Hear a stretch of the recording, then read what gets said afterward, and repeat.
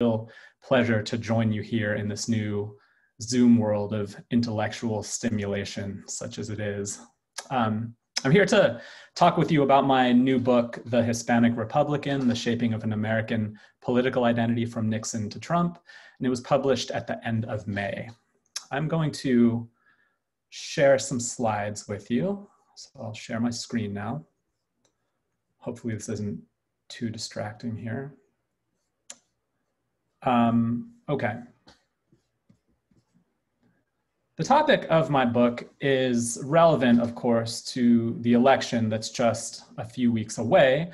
Latinos are the second largest group of voters for the first time this year. And if you're paying attention to the news, you've heard plenty from the Latinos for Trump campaign about socialism, canceling Goya beans, as well as immigrant opportunity, entrepreneurship, government control, and other topics that appeal to the 30% of Latino voters I've written about. But I'm going to focus my presentation on my historical findings, and then at the very end of my talk, and even more in discussion, we can talk about the present and anything else you want, really. First and foremost, I wanted to write a book about Hispanic Republicans and I, I, should just say right at the outset that I'm using the term Hispanic because that's the term that many of the actors that I wrote about prefer, as opposed to Latino or certainly not Latinx. And we can talk about that later too. So I wanted to begin to fill in some of the gaps in our knowledge about Latinas and Latinos in the United States. And I tackled one big idea held by the general public and even many scholars that Latinos are monolithic political actors, that they're overwhelmingly Democrats, and stated more strongly that they are natural Democrats. I don't think that Latinos are naturally anything. I think that their diverse political identities are a product of history. To be clear, most Hispanics do vote for Democrats, about two thirds of them, sometimes a little more, sometimes a little less. They've voted for the Democratic presidential candidate since the days of Richard Nixon in the late 60s and early 70s. But this also means that almost one third of Hispanics, who amount to millions of voters every election, have gotten ignored. And I think media coverage hasn't always helped us understand these voters. After elections, articles report that the Democrat, quote, crushed the Republican or that they won in a landslide, but then they leave it at that. And to the extent that media tries to explain Latino support for Republicans, they focus on particular issues like abortion or Catholicism or military service, wealth, and even skin color or age cohort. I think political scientists also haven't helped us understand Hispanic Republicans. They acknowledge that some Hispanics and Latinos are Republicans, but they've focused on the supermajority of Hispanics and Latinos who are liberal, with the result that they too ignore the millions who are conservative. They argue that liberalism is a core part of Latino identity based on attitude surveys, finding that a majority of Hispanics and Latinos support government intervention in the economy, or that they favor comprehensive immigration reform, including a pathway to citizenship for undocumented immigrants. The one finding that usually lends credence to the idea that Hispanics and Latinos are conservative, they note, is the aversion of Hispanics and Latinos to welfare and other so-called entitlement programs. And I think by pointing to these things, media and political scientists have missed a bigger picture. First, there's no single issue or national group that can explain why Hispanics have identified as Republicans. These attitude surveys, which find that a certain percentage of Hispanics support X while a certain percentage supports Y, and then infer that Hispanics are conservative or liberal based on such findings, can be misleading.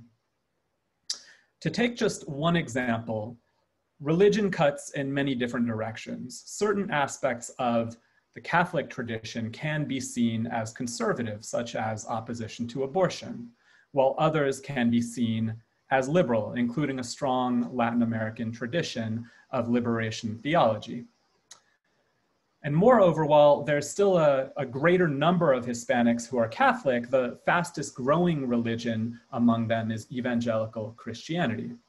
And evangelicals themselves aren't even monolithic, monolithically conservative. It's a faith that many immigrants practiced in Latin America, then brought with them to the United States. And the Latino evangelical vote gets split between Republicans and Democrats.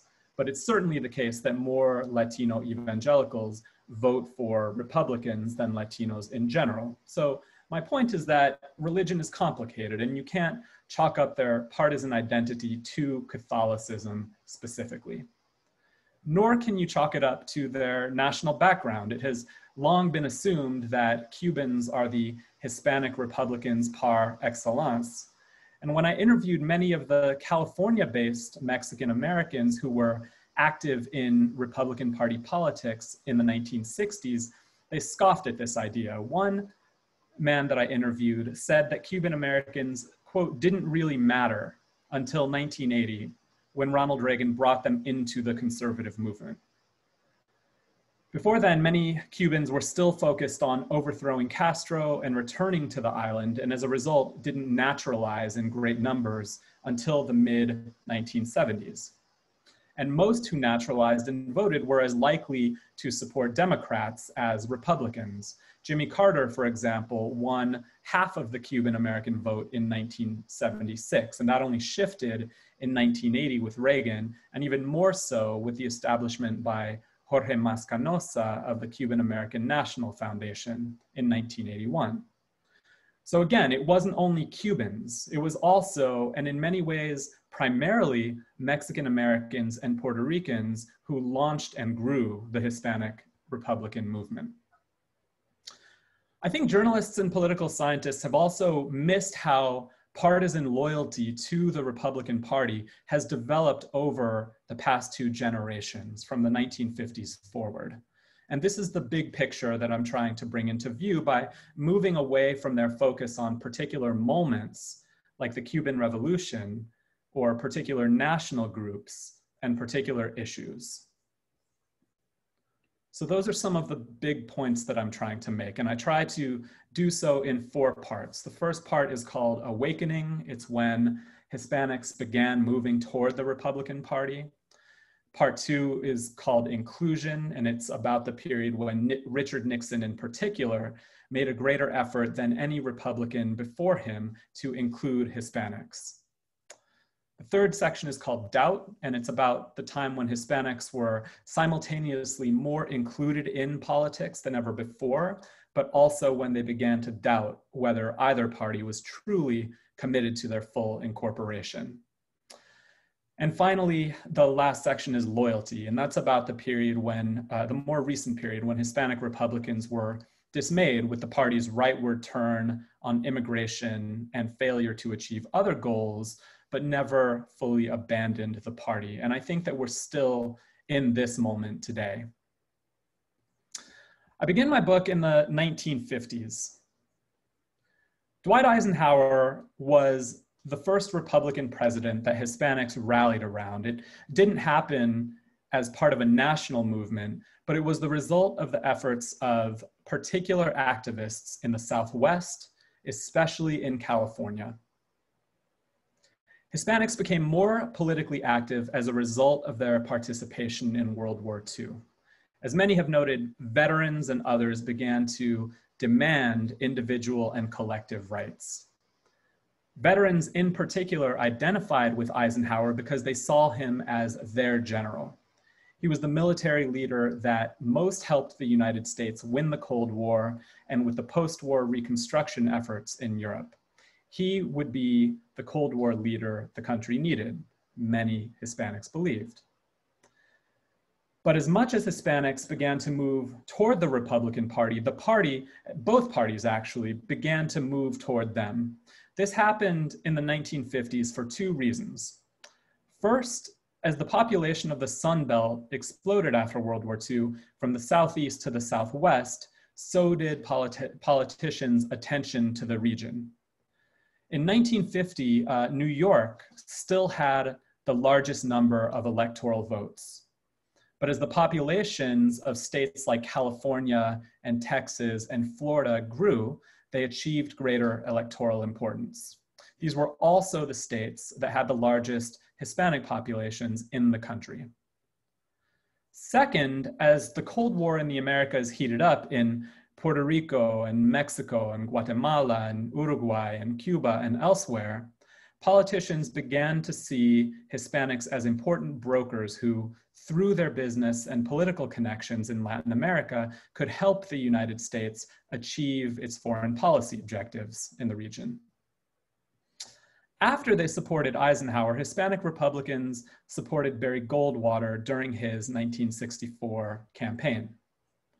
Here's a picture of Barry Goldwater with his kind of lead Hispanics or Latinos con Goldwater organizer, uh, Robert Benitez Robles, who sold uh, life insurance in Yuma, Arizona.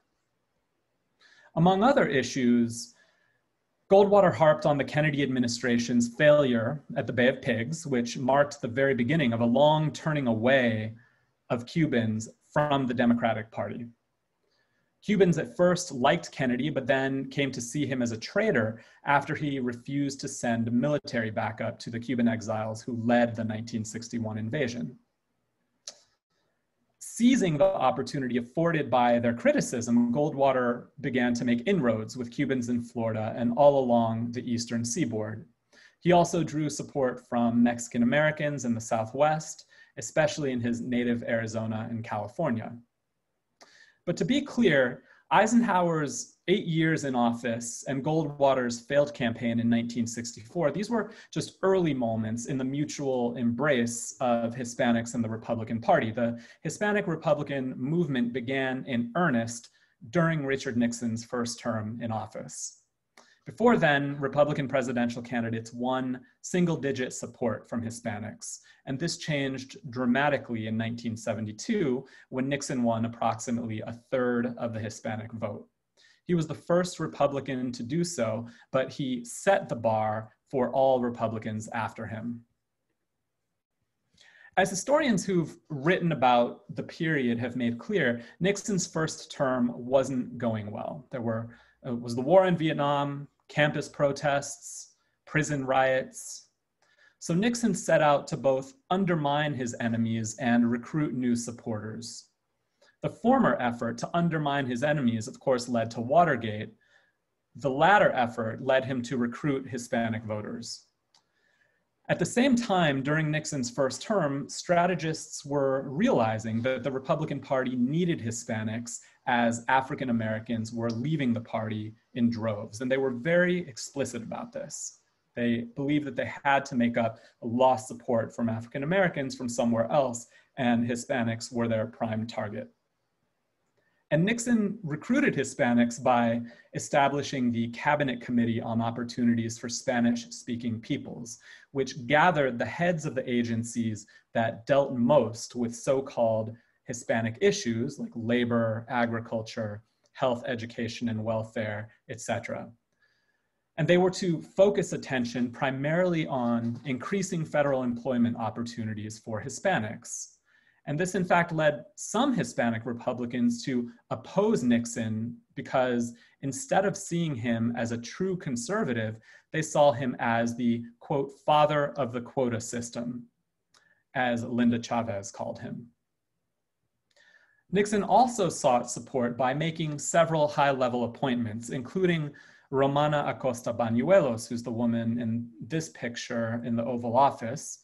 Nixon appointed her in 1971 as the first Hispanic treasurer of the United States. This kind of began a tradition of Republican presidents appointing Hispanic women to the post, including Katherine Ortega in uh, the Reagan administration, Kathy Vasquez Villalpando in the Bush administration, and there are several others in more recent years. In addition to Bañuelos, Nixon appointed Hilario Sandoval as the head of the Small Business Administration and a gentleman named Benjamin Fernandez as the head of the National Economic Development Agency.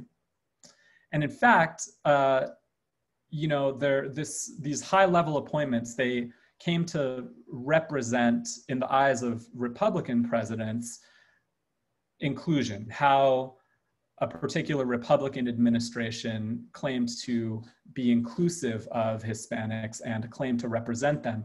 And many of these appointees were supposed to be key surrogates for presidential candidates out on the campaign trail. When they actually went out on the campaign trail, they were seen as something quite different. They were often called tokens or not representative of the, the kind of Latino that uh, Latinos broadly across the country needed to represent them. For the rest of the 70s, after, and I should say that they were, sorry, I'm just backing up for one second. Some of these Hispanic surrogates, especially Bañuelos, were actually given a lot of credit for Nixon's landslide reelection in 1972. So uh, Republican Party officials in New Mexico, for example, would write letters to um, Bañuelos after Nixon's victory in 1972 and point out that Nixon had been trailing in the polls in New Mexico before Bañuelos visited, but as soon as Bañuelos visited, Nixon leapt ahead in the polls. So they were given a lot of credit and kind of widespread admiration among Republicans in the Southwest, from Republicans in the Southwest.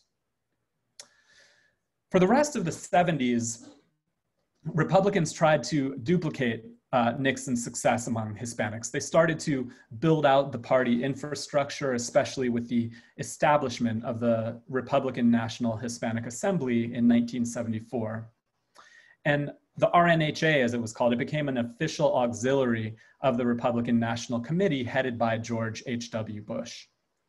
The first national chairman of the RNHA was Ben Fernandez, who again had served in the Nixon administration. And this group became the power broker for Hispanic Republican politics. Gerald Ford, pictured here, courted their endorsement in 1976. And the Republican National Hispanic Assembly in many ways became a, a bullpen for future appointees by Republican presidents. Many of the national leaders of the RNHA came to occupy positions in several uh, Republican administrations. Ford himself didn't do very well among Hispanics, and he lost the election to Carter, but his administration nevertheless had some key legacies for the history of the Hispanic Republican movement, including the recognition of the RNHA as a key influencer in Hispanic politics. He also appointed the first special assistant to the President of the United States for Hispanic Affairs. This was the New Mexican Fernando de Baca and Ford's signing of the 1975 amendment to the Voting Rights Act, which mandated the publication of materials, election materials, in Spanish as well as English in communities with significant Hispanic populations. And it increased Hispanic political participation, and it was championed by a Republican president.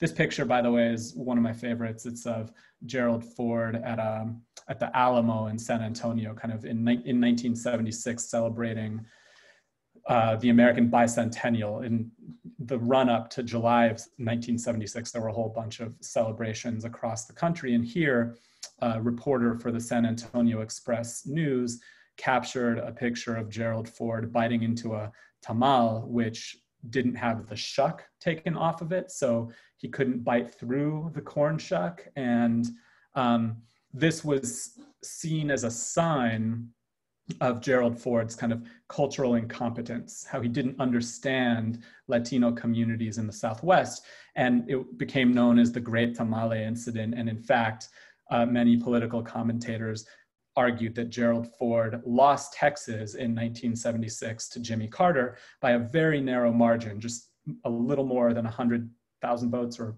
around 200,000 votes. And they chalked it up to this kind of insensitivity. And then the idea is that, um, you know, he lost Texas and therefore lost the general election because he bit into an unshucked tamal. This is uh, an exaggeration, of course, but it's a moment where uh, Hispanics were kind of seen to be at the center of a national election.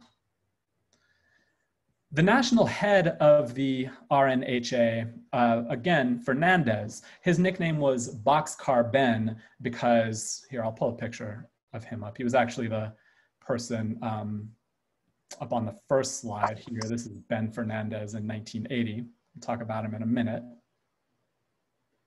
Here he is a little bit earlier. So Boxcar Ben, he was born in a railroad boxcar, and he actually became the first Hispanic to run for president of the United States, you know, a couple decades before Bill Richardson ran and, you know, uh, some 35, 36 years before Marco Rubio and Ted Cruz ran in 2016.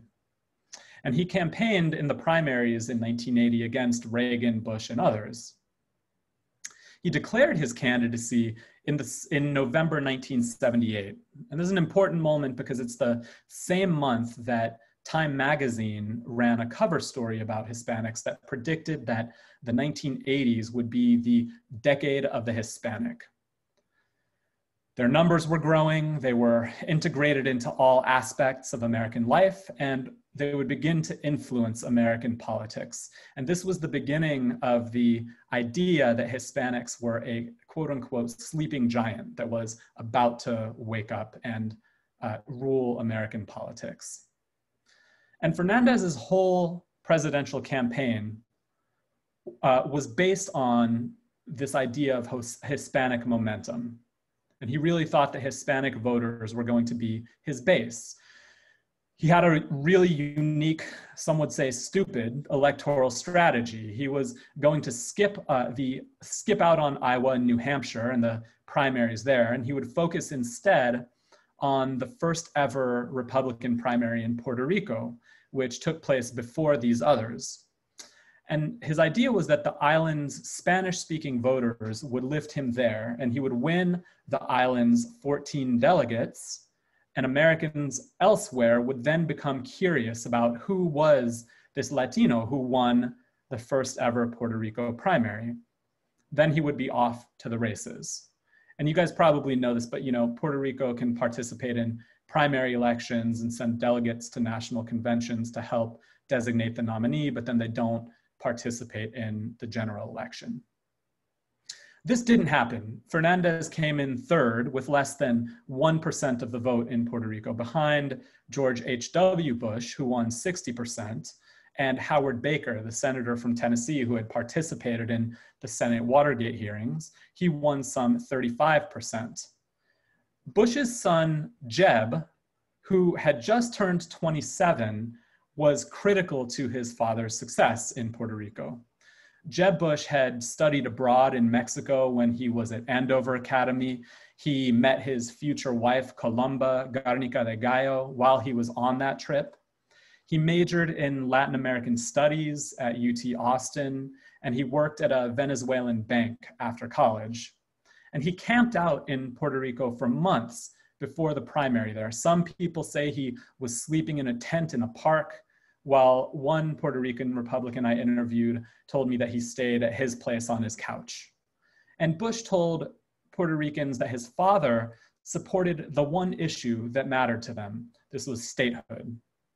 And for Jeb, this was just the beginning of his popularity among Latinos, which was critical to him throughout his time as the governor of Florida and as a candidate for president in 2016.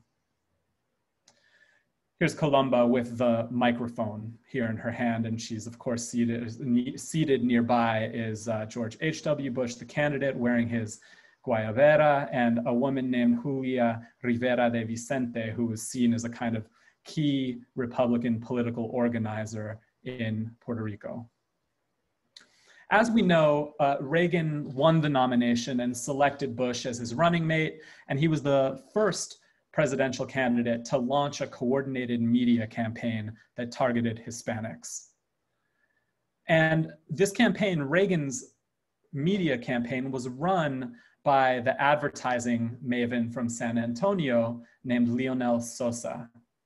And Sosa had assistance from Reagan's Hispanic campaign heads, Alex Armendariz and Fernando Oaxaca. Both of them were leaders of the Republican National Hispanic Assembly. They were also the heads of their own Hispanic media and public relations firms. They were also Mexican Americans from California, pointing to the fact that even in the run up to Reagan's election in 1980, Mexican Americans were still at the center of the Hispanic Republican movement. Reagan made a key innovation in recruiting Hispanics. He moved away from the patronage politics that defined Nixon's and Ford's efforts and toward identifying the issues that made Hispanics, quote unquote, natural Republicans, as he famously called them. These included family values, religion, anti communism, and free market capitalism. Anti-communism and capitalism had been issues before, but Reagan's 1980 campaign was really the first time they featured in Hispanic outreach efforts. And Reagan went on to win about 30% of the Hispanic vote from Mexican Americans, Puerto Ricans, Central Americans, and a staggering 80% of the Cuban American vote. And Reagan could be just as polarizing for Hispanics as he was for other Americans. They liked his strident opposition to Castro, the fact that he had appointed Katherine Ortega and others, and that he advocated moderate border and immigration policies that were harsh, but not so harsh as what other Republicans, a kind of nativist wing of the Republican Party that's beginning to grow in the late 1970s. Reagan called Mexico the, the most important ally of the United States, and he argued in campaign visits with um, the Mexican president, Jose Lopez Portillo, that the United States didn't need a border wall that divided the two countries. But he was also, in many ways, seen as cold toward the interests of working class Hispanics in particular, and even Hispanic Republicans opposed the part of his immigration bill, the Immigration Reform and Control Act, that called for employer sanctions. Hispanic Republicans largely saw Reagan as a president who continued the era of inclusion that had begun during the Nixon years. They came to believe that they were influential in the Reagan White House and that they had a seat at the table for important policy discussions. But they were also really wary of rising nativism within the Republican Party, including the burgeoning movement to make English the official language of the United States. They appreciated the fact that Reagan remained dedicated to signing a comprehensive immigration bill, even though conflicts over the shape of the bill pushed its signing into his second term. Some Cuban Americans also in Reagan's second term began to express their frustration that despite Reagan's anti communist bluster, Castro was still in power. And interestingly, the Iran Contra scandal that plagued Reagan's second term really wasn't a problem for Hispanic Republicans. Leaders like the New Mexico representative Manuel Lujan spoke for many when he supported Reagan's Central America policy, including the supply of arms. In some ways, the Reagan years represented the pinnacle of the Hispanic Republican movement, the time when Hispanic Republicans believed that through decades of work and organization, they had achieved inclusion in the Republican Party.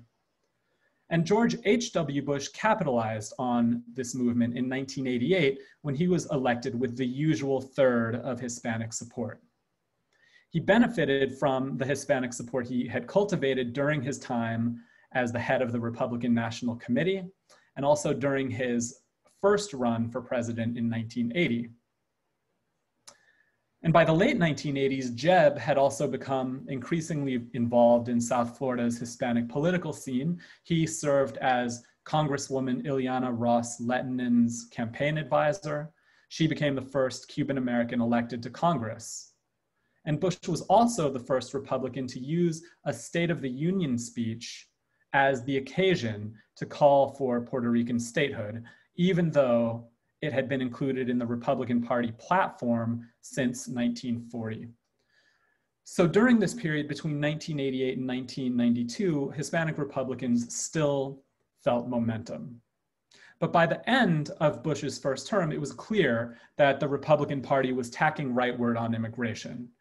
Pat Buchanan challenged Bush in the 1992 primary, railing against the amnesty that had been granted to more than a million undocumented immigrants as a result of the 1986 bill. And as a columnist for the conservative Washington Times, Buchanan said it was foolish to consider introducing Puerto Rico as the 51st state of the Union because it would be tantamount to incorporating a secessionist movement that he compared to the one in Quebec. And it, he argued that it would add hundreds of thousands of Puerto Ricans to the welfare rolls. And immigration was becoming an increasingly divisive issue in the states as well, with majority support in California for Proposition 187. Border restrictions like Operation Gatekeeper further militarized the border, and the anti immigrant movement traveled from California to DC as Congress debated and passed, and as President Bill Clinton signed the restrictive illegal immigration reform and immigrant responsibility act of 1996 this is the ERIRA bill.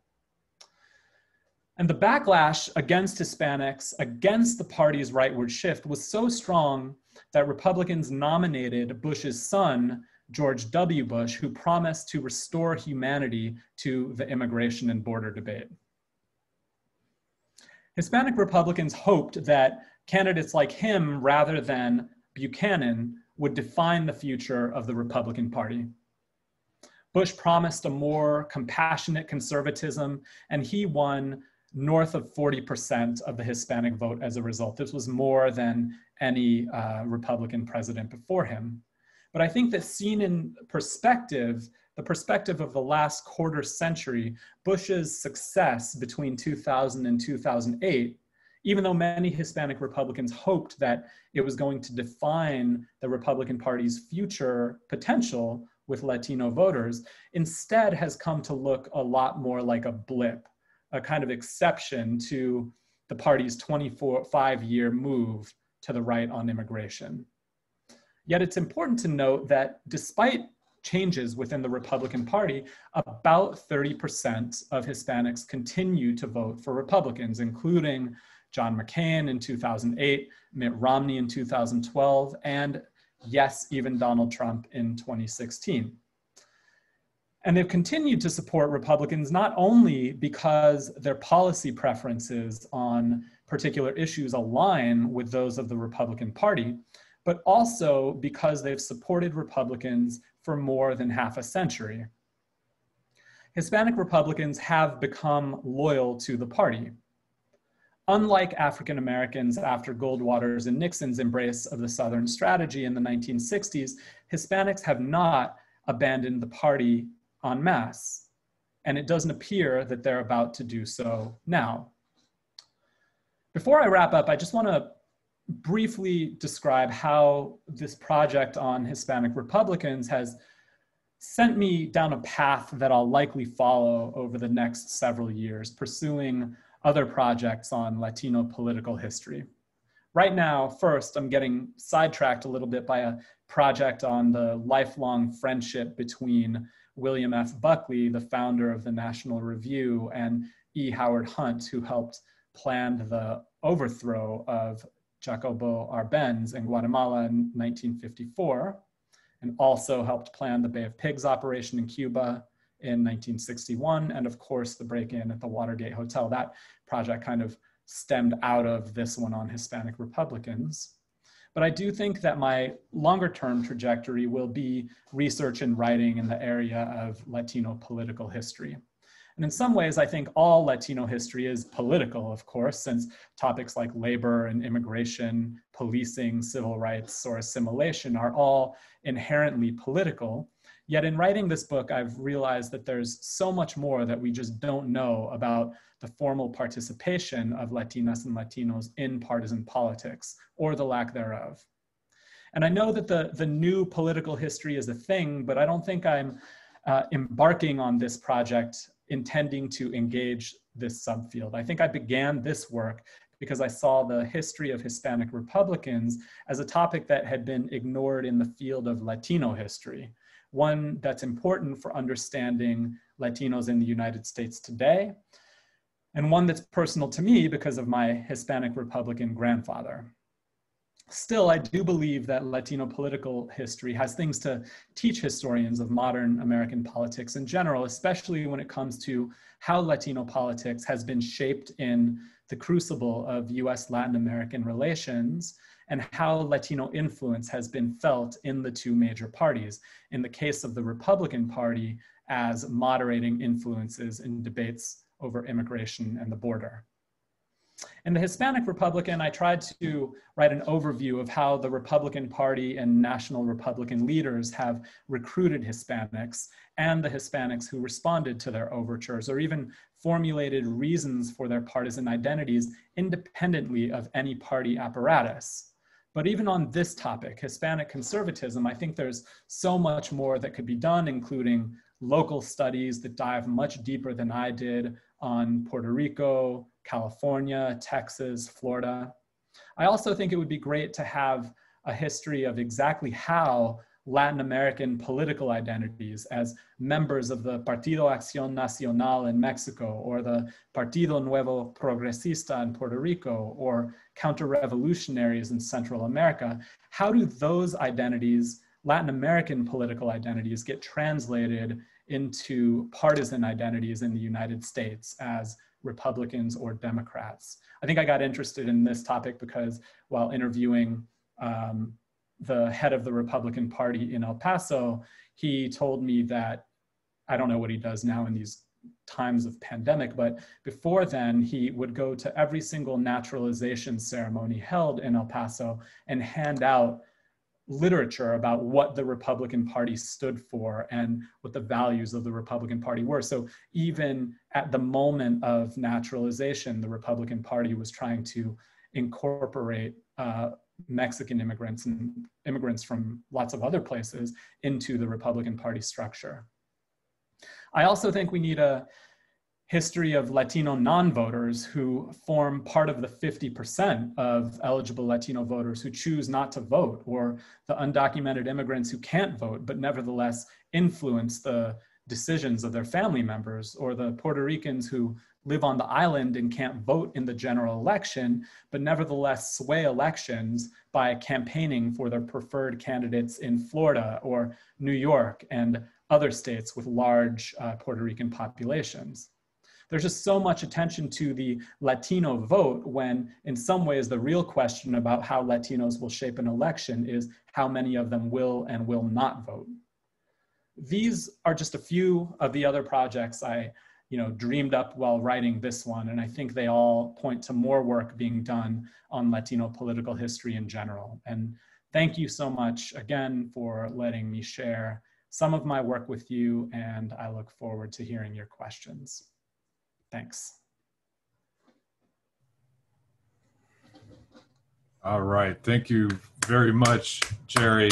I know we can't all go off mute. This would be the point normally in better times where you'd be treated to deafening applause. Um, oh yeah. For the for the presentation, also for a fantastic book. Congratulations. Thank you. Um, on that, it is truly remarkable work, which I'm sure will find uh, audiences in not just in our tribe of historians, but uh, among political scientists, uh, sociologists, and of course the general public. Congratulations. Thank you, um, and uh, a, a more timely uh, contribution I could not have thought of given what's going to happen in what 25, 26 days or so. Um, yeah, um, I, I just put something in the chat. This is the moment where I remind all of you in the audience please do put your um, questions in the chat and we will uh, field those for Professor Cadava uh, momentarily. In the meantime, um, I've been asked here, our producer is saying, I should remind everyone that this event, event is in fact being recorded and will be available for viewing, your viewing and listening pleasure uh, afterwards. So please keep your eyes open for the link for that. And I should also mention, by the way, that uh, we'll be having a uh, list serve soon for the Lehman Center, which uh, I hope all of you will will join and, and hear about our future programs. But in the meantime, uh, I want to open up Q and A for Professor uh, Cadava, and I don't see anything just yet, which is great for me because I uh, I have a couple of questions of my own. Um, I I really love the way you've uh, uh, taken your ten chapters and organized into these four um, themes, or not even themes, but I guess like periods. Uh, it really gives this kind of wider breadth of uh, a political journey of sorts. And you, you touched on a lot of. It goes seamlessly from Cold War to domestic politics to the regional politics. I think one of the things that I think many of us don't know um, or don't take into account is that how very much as Tip O'Neill once said, you know, all politics is local. I think that was Tip O'Neill. You would probably know better than I would, Jerry. Um, sounds, sounds good enough. Yeah. Um, and so you fact checked here. I don't know. No, please do not. Not this is being recorded. Don't don't prove me wrong on tape. But um, the way you you seamlessly move in between these various let's just call them theaters of political activity, mm-hmm. um, from the, the the small Republican clubs all the way to you have uh, people who are dead intent on over, uh, overthrowing Castro time and again. Um, it's a, it's a really fascinating story. I wanted to ask you a bit more about um, a couple of questions. One was actually anticipated in your final comments about non-voting hmm. uh, Latinx Americans and how that factors into this. Is there a certain way in which the prominence of the Hispanic Republican is not, I'm not going to say inflated, but certainly it seems numerically larger, proportionally larger, yeah. because you don't, you're not including these people um, who aren't voting. Um, yeah. And I mean, that kind of, mm-hmm. I'm going to resist drawing the parallels in African American political history, um, even though I think of like Leah Wright Rigueur's work. Yeah. Um, yeah, yeah. And like the, the, I think the title of her book is The Loneliness of the Black Republican. Yeah. Or the Black Conservative. Um, but so I'm going to res- resist drawing uh, those parallels. But it does occur to me that in a lot of ways, there is a black undercounted voted during due to you know many things, including voter suppression, um, et cetera, et cetera. So I was wondering about that. And then another question um, that I had as I was uh, reading, particularly the Nixon period and the Reagan period. Um, and I wanted to ask you a bit more about labor union politics. Mm-hmm. And I was thinking about uh, Jesse Jackson's bids, which were incredibly successful. I mean, unless, I mean, he didn't get the nomination, but otherwise, for what he was doing, he uh, had the most impressive showing uh, within a party of an African American candidate, I think, until Barack Obama. Um, and this was not because he got a lot of black voters, which he did. I mean, but they clearly weren't enough to put him over the top. He had this interesting coalition of black voters, you know, urban liberals, and labor unions. And so that made me think at this period of Reagan where there's this kind of attraction and, you know, rejection depending on, you know, who's, you know, who in the party is articulating their sentiments. Where is the labor politics, I guess, in this story? How does that figure? If you could just draw this, draw that out for us as well, because it's also a period where labor, as a voting bloc, is also kind of. I don't want to. I don't want to play into the declension narrative, but it's kind of not as important as it was maybe some decades before. So I was just thinking about that. So you could take either one of those questions while, um, and there's a few more coming in on the um, over the transom here, but I'll let you warm up on those two very insuccinct and drawn yeah. out questions. It, it, I mean, I, I know that you said you wanted to avoid the parallels with African American history, but I am curious to know: is it is it kind of argued within? Is it argued by African American historians that um, African American non-voters do have a particular partisan leaning? That they those who don't vote, if they did vote, would vote one way or another, or do we not know that? It's kind of it's it's a literal unknown, right? Yeah, um, right and we don't know. I think one reason why you have um, there's one party that's particularly, shall we say, resistant to any measures that would expand the franchise or access to the franchise. I'll let you in, infer which party I might to which I'm referring. Um, I think it's under the assumption they would vote for the other party. Yeah. Right. right. Uh, but I, right. but I, I, if what you're saying is we should not assume that, I absolutely agree with you. No, yeah, no, you, no. I, I, I think I would say something similar that the, you know non-voters are super important, but we also don't know a lot about non-voters. I mean, we don't. I don't know um, if there are, are studies that say things like you know. I do know. Here's what I do know about non-voters. We know that Latinos have historically, for a long time, I mean, since before the 1975 Voting Rights Act, which was meant as an effort to include them and increase their rates in political participation and have them register at greater numbers. But even since then, um, we know that Latinos have participated in elections at lower rates than other groups of Americans. I think um, non Latino whites participated about 65%, Latinos participated about 48%. Asian Americans participate at 47. African Americans, I think, are a little higher uh, than Latinos, but not as high as non-Latino whites. And you know, the thing that the thing that's important to remember is that that number of like who participates and who doesn't participate, it fluctuates in every election. You know, it's so in some elections one strategy has been to drive down um, participation by Latino Democrats. This was one of the things that actually came to light during the Senate Watergate committee hearings.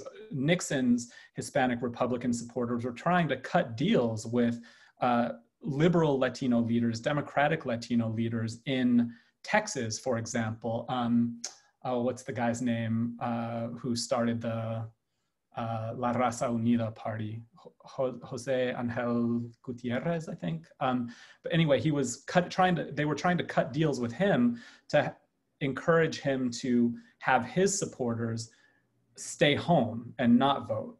So that's an example from 1972, but I think there are versions of that story um, over the past 50 years. So my point is like who the American electorate is in general, but who Latino voters and non-voters are varies from election to election depending on their enthusiasm for the candidate, depending on voter suppression efforts, all of these things. And, you know, so I don't think we know a lot about um, about who Latino non-voters are, except some obvious things like undocumented people can't vote, but we know that they sometimes live with uh, and are friends with or family members with people who do vote and can influence their vote that way, or Puerto Ricans who literally fly to New York, for example, to campaign for Governor Nelson Rockefeller, even though they themselves can't vote. So we know something about those Latino non-voters, and you know when they show up as Republicans campaigning for Republicans, we know something about them there. But but generally, you know, we don't know a lot about who non-voters are. Um, there's more studies of like why they don't vote, reasons from you know ranging from um, alienation from the political process in general, the fact that they live in non-competitive states like California or New York or Illinois and therefore don't believe that their uh, votes count, those kinds of things. But um, yeah, I mean, I, I, I think this election cycle, for example, in 2020, one thing I've been asked a lot and, you know, an idea that's floating around is that there's a question like is the latinos for trump campaign actually trying to win new latino voters and persuade latinos and to try to expand latino support for donald trump? Or is he trying to you know muddy the water of the whole thing to make it seem as though both candidates are equally bad to encourage latinos who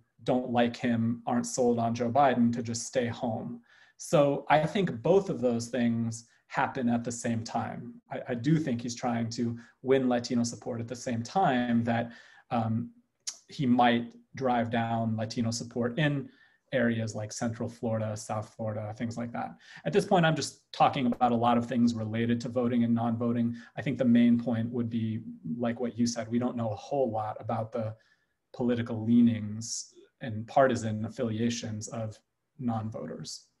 Um, the labor question is really interesting, and I think the, the parties kind of, um, this is another way in which parties realign, I think, in the mid to late 20th century. I mean, for a long time, it was Democrats who were, um, you know, when it came to immigration, for example, they were trying to protect American jobs or Mexican American jobs by opposing like the, the Bracero program and um, any of these Mexican guest worker programs or visa programs. And, you know, famously and controversially, the labor leader Cesar Chavez for much of the 1950s and into the 1960s opposed um, Mexican immigration and opposed uh, the Bracero program because he was trying to protect the jobs of Mexican American workers. And in those years, it was actually Republicans who were the most vocal supporters of extending the Bracero program year after year. That sw- switched um, in the 1970s, I think, when um, you know union politics shifted and uh, Republican politicians and many Hispanic Republicans who were business owners and began to argue that you know vocif- vociferously against labor unions and unions among their own employees um, with with arguments about how like you know their employees didn't need um, labor unions to represent them because they ran their businesses like kind of uh, like patrons, you know, and they really took care of their employees, um, so they didn't need a labor union. But um, that's an incomplete answer, and um, but it's what I've got right now. Great, thank you, thank you so much, Jerry. And again, yeah, take a take a sip. You've been talking for a while there, so and, and it's not over yet. We have the chat room is really buzzing here. There's a lot of really good questions here for you. Yeah. Um, one of uh, I'm going to go from uh, Shakti Castro, who is asking, how have your interview subjects reconciled some of that anti-immigrant? This is really going she actually I think like foreshadowed your answer to this question. This is um, she's she she's asking you how have your interview subjects reconciled some of that anti-immigrant and anti-brown and anti-black rhetoric the Republican Party espouses with their political and cultural identities. So and again, she's asking about your interview subject. So I, when you yeah. do these interviews, there's a lot of intimate time, right? I mean, yeah. You, at a certain point, I imagine you certainly asked that question to someone. Oh yeah. What, what do they have to say? Oh man, um, I mean, they say a lot of things. They say a lot of things. They say, just for an example, I interviewed a current candidate for the tech, no, for the U.S. Congress actually from the Rio Grande Valley in South Texas. Um, and you know she's running for a congressional seat in a district that's like 90% latino she's running in a district that has historically been democrat but it's near the border and she's lived there her whole life and she, you know border security and harsh well she wouldn't call them harsh but strict immigration enforcement those are like two of her major issues. And actually her district is near like eagle pass and it's right near where all of the detention centers that were getting national news attention are located. Um, and she says that you know Mexican immigrants do, in fact, commit crimes in the United States. That's what she says. She also says that many of the immigrants who um, are coming brought to the many immigrant children who are brought to the United States by adults are being trafficked for sex work, and Border Patrol officers are, in fact, the only people who are trying to protect them. And when it comes to what we recognized as family separation, she was saying that many immigrant children are brought across the border not by their parents, but by um, you know others who are trying to enter the United States illegally and using the children as a way to um, remain in the United States.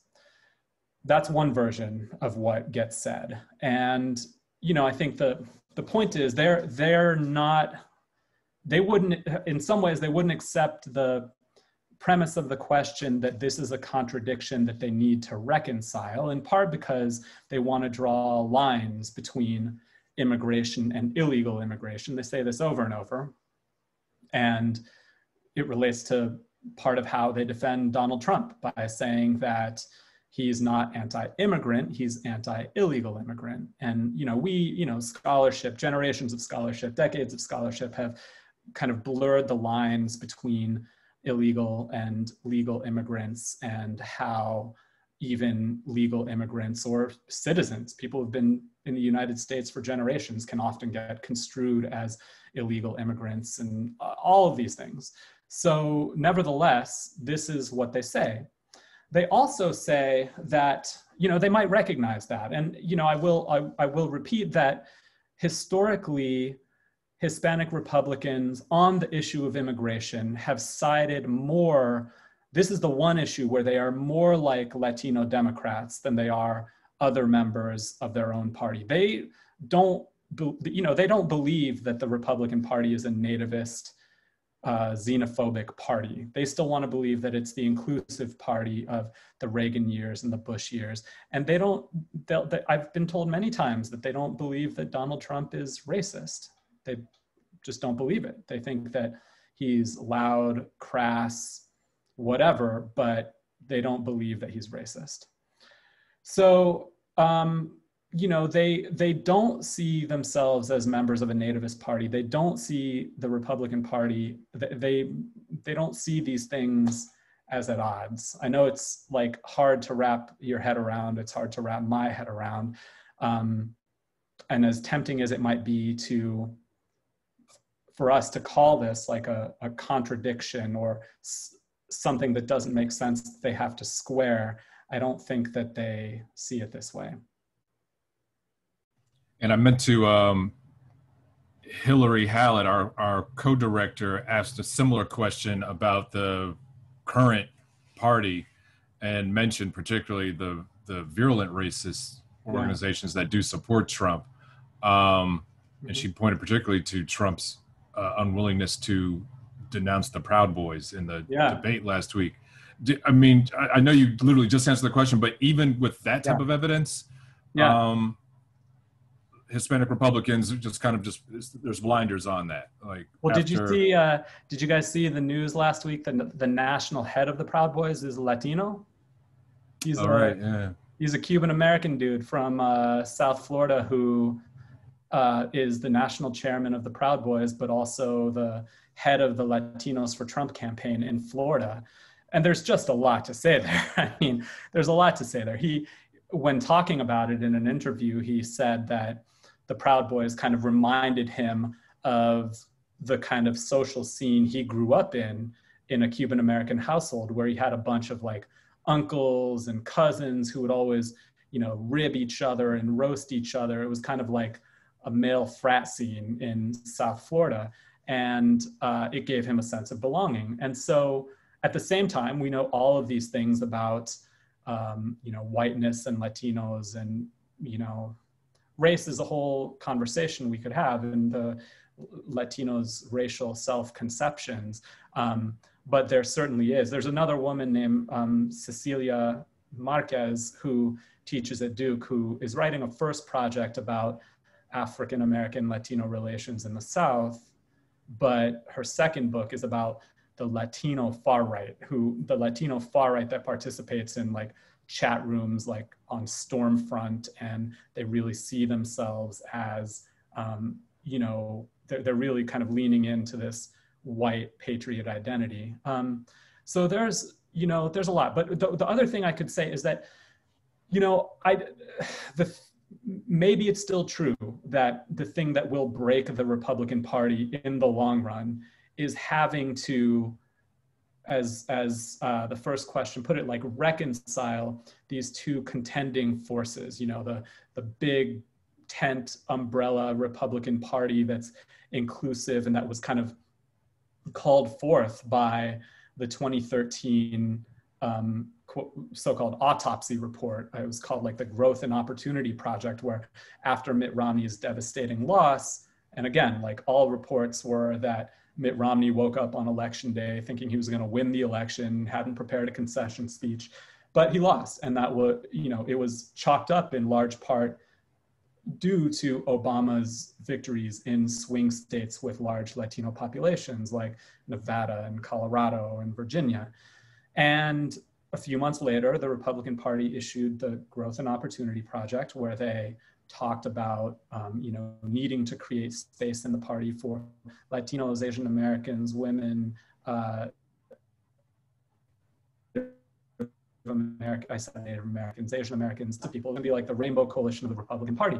And that's why I think it made sense in 2016 that early on in the primary campaign, folks like Marco Rubio and Jeb Bush seemed to be frontrunners because they were going to be representative of this new Republican Party. But the, actually, we know now what happened was that it's this other wing of the Republican Party that had been growing from the 1970s forward. I mean, where where you want to date the rise of nativism and xenophobia within the Republican Party. I mean, we probably shouldn't just limit it to the late 1970s forward, but for sure through groups like the Federation for American Immigration Reform, US English, the rise of Pat Buchanan as a serious primary challenger to George H.W. Bush. In many ways, this is the wing of the Republican Party that helped elect Donald Trump to office. So I think a lot of us were caught off guard by that. Maybe we shouldn't have been because, especially us, you know, this group of people who actually has studied um, some of these nativist xenophobia movements over a long period of time. Maybe we shouldn't have been surprised. But I do think that it's it's still possible, just like the you know Democrats have divisions between progressives, moderates, whatever you want to call them. The Republican Party is still, regardless of who wins in 2024, going to have to face this situation at some point, whether they, you know, try to expand their party or continue to focus on Trump's like nationalism, isolationism, things like that. Great. I'm going to go to um, Ivan Padilla uh, Rodriguez. Asked you, thank you so much for a wonderful talk, a wonderful and informative talk. Um, I was hoping you could expand more on how historically Hispanic Republicans wrestled with exclusionary refuge, refugee. I'm sorry, I need to scroll down here. Yeah. Um, how Hispanic Republicans wrestled with exclusionary refugee and asylum policies and intervention in Latin America, particularly during the Reagan era, and how this history informs our understanding of current Hispanic Republican perceptions of refugee uh, waves and policies. Mm-hmm. Mm-hmm. That's an interesting question about the 80s compared with now. Um, let me think about that for a minute. But as I think about it, I'll try to get to the first part of your question, which is, um, you know, Republicans and sanctuary and refugee policy during the Reagan years. And, you know, I think this is probably a overly simplistic way of putting it, but in some ways, it's also true that refugees fleeing from left wing leftist states or states controlled by leftist leaders were seen as good and groups that we should welcome. And those from other kinds of places were not welcome. They were cast as like economic migrants, they weren't refugees and therefore didn't kind of fall. You know, you, I'm sure you know that the there was also the 1980 Refugee Act, which talked about the distinctions between economic migrants and refugees, and if a group of migrants was deemed to be economic migrants, then they didn't have to be granted asylum. So this is what happened with Guatemalans, for example. Um, they were called economic migrants because they had been fly, fleeing from uh, the Pinochet, not Pinochet, I'm sorry, the uh, Rios Montt regime in Guatemala. But Nicaraguans, for example, who had been fleeing the Sandinistas, were seen as a different story. So uh, Ileana Ros-Lehtinen um, is a good example of this because she's a Cuban American. Her father was uh, Enrique Ros, who was a you know fled Castro's Cuba, and that whole narrative. And she, I mean, and many Cuban Americans like explicitly argued that Nicaraguans in the 1980s are just like we were in the 1960s, so we have to support them. And we also know that um, veterans of the Bay of Pigs operation literally helped train the Contras in Miami. And they did so because they thought they were providing the same kind of support that they had received uh, during the Bay of Pigs operation. So that's one of the, you know, talk about like, you know, all these conversations about like Latino solidarity and whether Latinos are even you know, one ethnic group. In this case, Cuban Americans and were kind of saying that they were one and the same with Nicaraguans because of this history of, you know, um, struggles against leftist leaders in Latin America. How to think though about like refugee politics now compared with then? I'm kind of tempted to say that just the contexts of 1980 and today are so different um, in, in some critical ways. I mean, um, the refugee and immigration situation in the 1980s was defined by the politics of the Cold War in a lot of ways. Um, the numbers of immigrants skyrocketed, undocumented immigrants as well skyrocketed after the 1980s, even after the Immigration Reform and Control Act.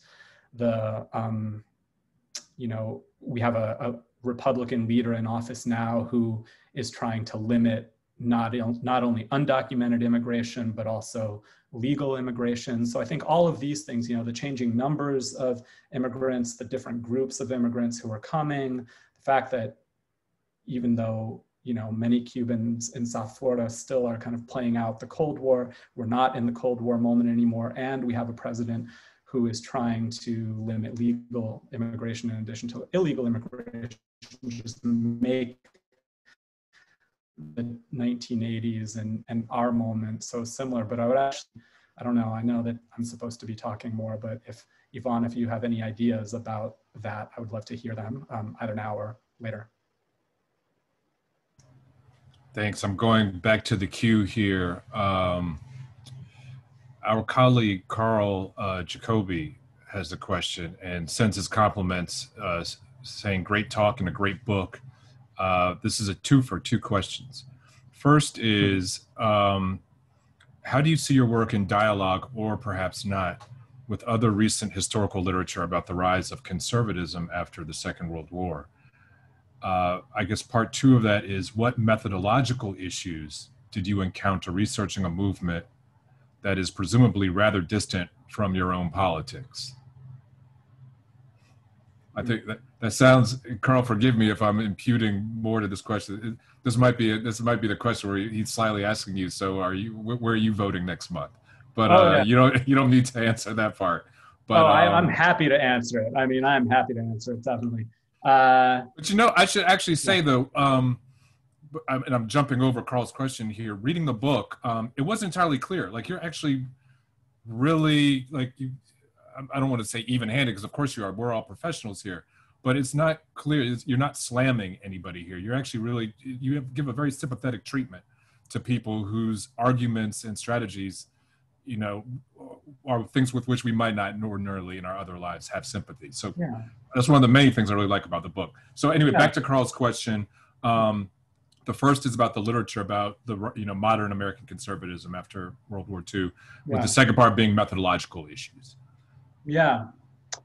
Um, you know, it's interesting about, of, of course, by the time I started writing this book, I was familiar with this kind of boom in uh, historiography of the new conservatism and the conservative movement after World War II. But I, I mean it sincerely that that was not my point of departure for thinking about this project. I was trying to understand it in the context of Latino historiography and just seeing this as a group of Latinos that had not been written about. I mean, I think in term, if this relates to the other question, because I think my Hispanic Republican grandfather is important here, and the way that I was able to recognize him as an important part of our family, but also, you know, a, a Latino in Arizona was this, his experience and the kind of broader story that he is representative of. I just didn't see it told in Latino history. And, you know, there, through researching, I think I'm interested in this because in researching my first book too, I wrote about a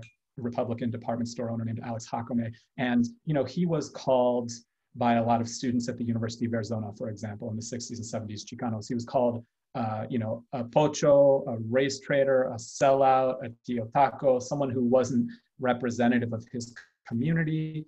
Also in my classes on Latino history, when I taught that chapter, about the Mexican American department store owner, my Latino students would literally say, he shouldn't be counted as a Latino. We shouldn't consider this Mexican American a Latino because, uh, you know, as though um, some sort of political identity was a prerequisite for even, you know, inclusion in a class on Latino history. And so that was, those kinds of things were the point of departure for me for the project because, um, you know, I think you know this idea. I was just asked this question yesterday about like, but how much of how much of Latino Republican identity has to do with self-hatred?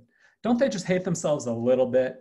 And I don't know. I don't know the answer to that. I can't answer that as a historian, but I don't at all think it's a useful way of arguing politically. You know, you're not drawing, if you think the goal is to draw people in, if you still believe in the idea that it's important to have conversations with people you don't agree with.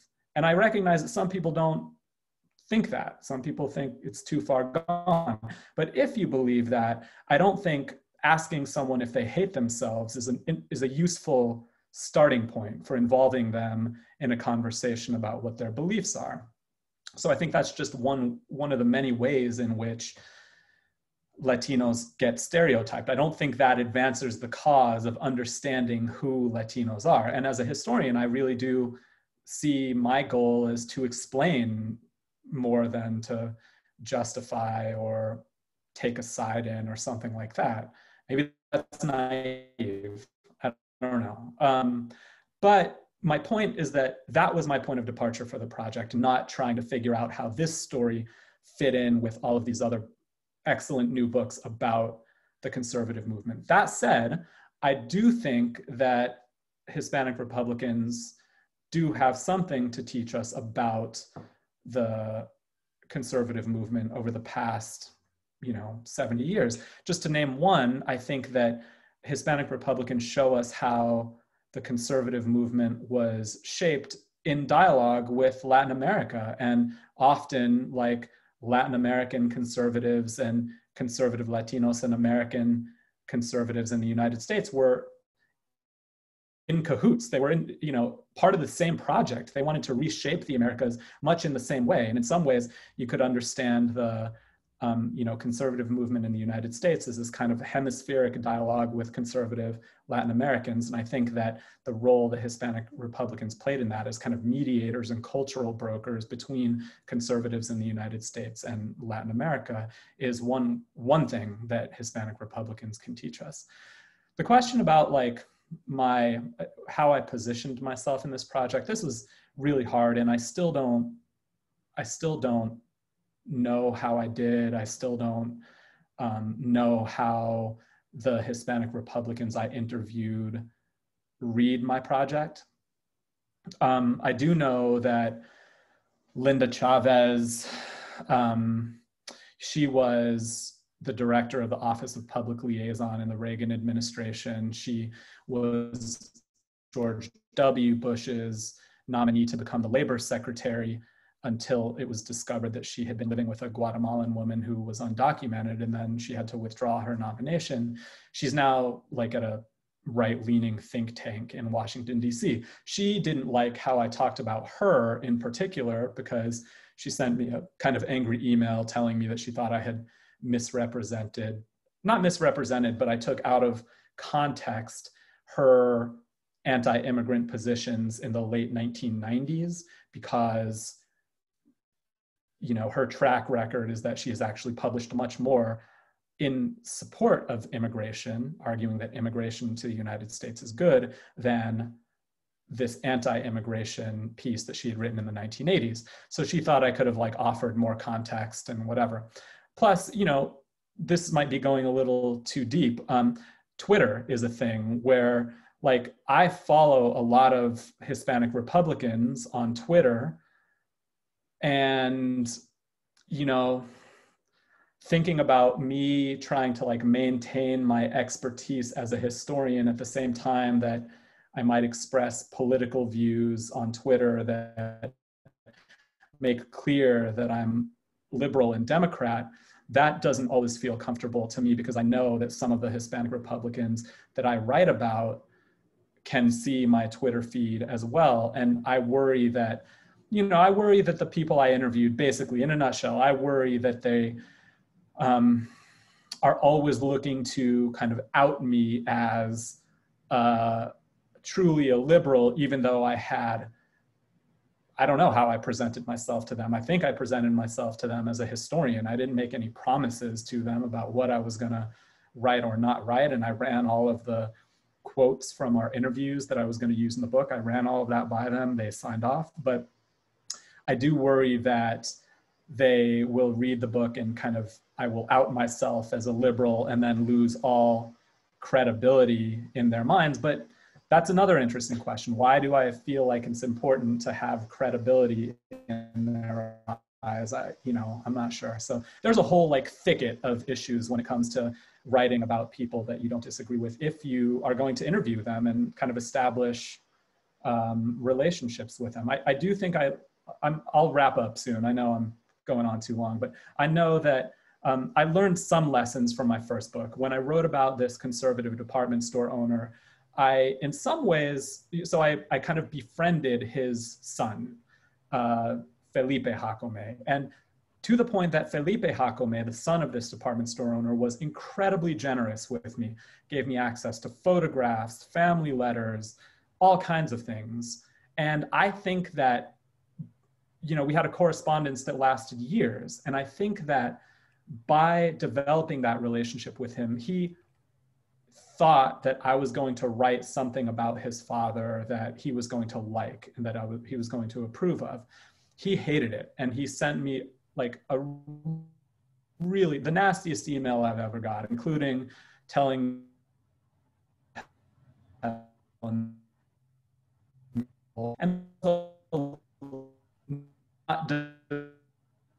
relationships and friendships with people who I interviewed, even if they were giving me access to family papers. And um, I think I saw that my internet connection is unstable. So I hope that.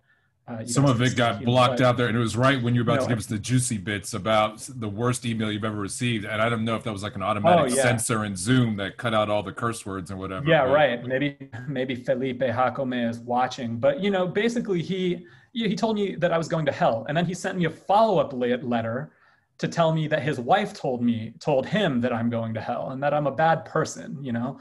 So you know the lesson for me was that you shouldn't you know that i shouldn't somehow i felt like i had undermined my own like authority or objectivity. And i don't think i made promises to him. And on the one hand i think that like when you're writing about the father of a still living son nothing you could say about them would be satisfactory to them because you couldn't possibly capture all of that feeling, all of that person's feelings about their father in a chapter in a book. You couldn't.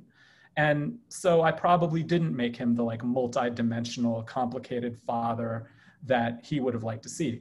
So maybe that's part of the lesson. But I also learned that, you know, even with someone that you're interviewing who's giving you access to family photos and, you know, you want to have them trust you, you want to develop a rapport, but I do think it's important to have the clear boundaries you about them you're not writing for them you're not beholden to them in any way. So it's it's tricky and i still feel that way. I mean i do think the last thing i'll say is that i think the fact that my father is a his my grandfather is a hispanic republican i do think that helped me have conversations with them because i i, I mean my grandfather is a complex full human being. I, I know him to be a, a good, decent human being, even if I um, disagree with him politically. And I think having had these conversations over a long period of time with my own grandfather helped me approach these conversations with other Latino Republicans from a like understanding point of empathy or something like that. Yeah, it's it's very delicate and complicated, and you're you're very deft at um, negotiating that. there are a number of parts in the book where, as a reader, I was thinking, what was it like to interview this person, and you know, try to get that sort of the insight, or try to put yourselves in in their mindset and how were they thinking at this period, and what are they thinking about as you're talking to them. Um, it's not easy yeah. talking. Um, uh, my recent work is more in the contemporary period, and so whereas my first was not. And I started interviewing a lot of people who were still alive, and it's not. I, I can Yeah. sympathize with you. Um, Hilary and Nikita, uh, are we? Is our cutoff time three thirty or four? I forgot. It won't get cut off. Okay, but we're supposed to go till three thirty, or do we? Because in which case, that might have been our last question there. Okay. I think it was. I know. Um, all right. In that case, and I know a lot of our folks did leave at exactly three thirty. So I think I suspect three thirty. Hilary, Yeah, is that? Three thirty. It was. Yeah. Okay. Yeah. Um, I'm sorry to those of you who are still in the room and had questions up here. Uh, there were some great ones as well. Um, for a great scholar and a great book. Congratulations, Jerry, on fantastic work. I'm sure it's going to keep you busy, particularly um, not just the next few weeks, but probably for many weeks and months afterwards. You'll be on the lecture circuit. Oh man. So Um, as thank you. Thank you for having me. And I'm, I'm sorry that my long-windedness in answering some of these questions meant that we didn't get to all of them. not at all, they were they were excellent questions and they deserved an in-depth answer. Sorry, I think I I'm spoke happy to carry on the there. conversation at any time. No, it's okay. We'll I have to bring you I'm back. happy to carry on the conversation. Yeah. All right. Well, thank you so much. Be safe out there. Bye bye, you guys. Take care. Good to see you. You. Thanks, Bye-bye. Jerry. Take Bye. care, everybody. Bye. Good evening.